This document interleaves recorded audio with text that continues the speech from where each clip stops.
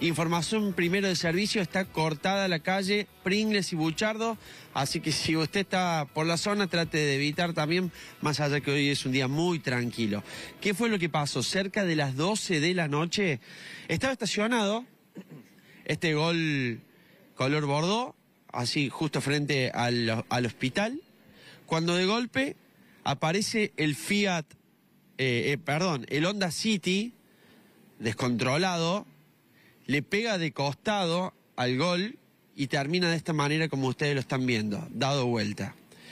Un accidente más, se distrajo, ¿qué pasó? Bueno, los ocupantes de, este auto que quedó dado vuelta, se ve que venían eh, de fiesta o algo por el estilo, porque encima que chocan al gol y se da vuelta, se la agarran con los chicos que estaban en el gol estacionados, un chico de 19, otro de 15.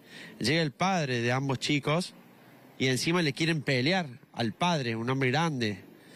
Bueno, llega la policía también, bueno, hay unos enfrentamientos, porque encima aquí está el accidente y, uno pasa ese mal trago, eh, luego sucede esto, que se enojan, quieren pelear con, y la verdad es una situación difícil. Vamos a molestar un segundo acá a uno de los chicos. Bueno, vos estabas en el gol, ¿cierto? Sí, yo estaba dentro del gol y mi hermano, era mi hermano también estaba dentro del gol. ¿Cómo estás? Bien.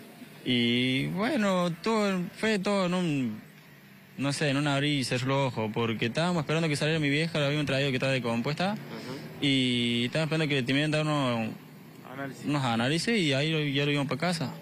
Hacía de las 8 que estaba mi vieja ahí. Así que a las 2 y cuarto vi la hora yo cuando fue el choque a las 2 y cuarto. Gracias a Dios no tenemos nada, pero el auto mío ya no sirve más.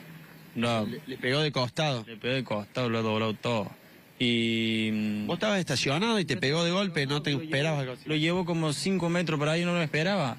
Bueno, yo de mi parte reaccioné ayudándolo, me bajé el auto todo ayudándolo a ella y me fijé, porque lo metí a Sheila. Y estaban drogados, estaban dando vueltas y querían pelear con todo el mundo. vos lo fuiste a ayudar y, te querían pelear. Me querían pelear, me decían eh, que lo ayudáramos a dar vuelta al auto, se querían ir, querían dejar todo así, nada, se querían ir.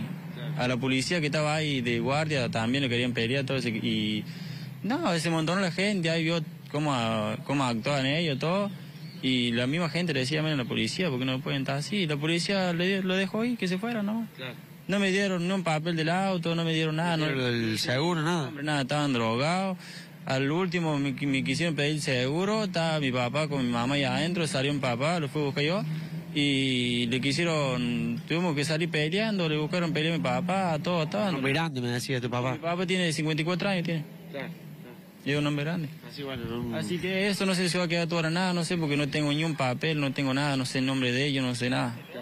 ¿Y un auto de la familia tuyo? Y es un auto mío eh, que yo lo uso día a día para trabajar. Claro. Es la única modalidad que tengo de trabajo. Vale, muchas gracias. ¿Tu nombre es? Ignacio. Ignacio. Bueno, ahí está, Ignacio.